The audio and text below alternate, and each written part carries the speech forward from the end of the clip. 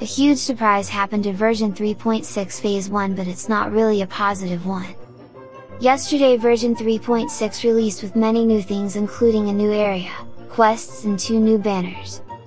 Nilou and Nahida's first reruns are in the first phase and people predicted it to be best at sellers. Because Nahida's initial rerun was the best selling banner at the time even with Yoimiya being the other character. But a big surprise happened to the first day revenue and it's not what we expected.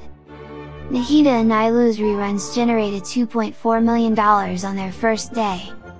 Which is way below many first phase banners that begin in the morning. Even below Eula and Albedo and Dehya and Cyno's banners. About 25% of people pulled for Nilou and 75% of the people pulled for Nahida. But people generally expected them to do better sales wise as most Archons do. Did you pull for Nahida or Nilou? Comment down below. Thanks for watching!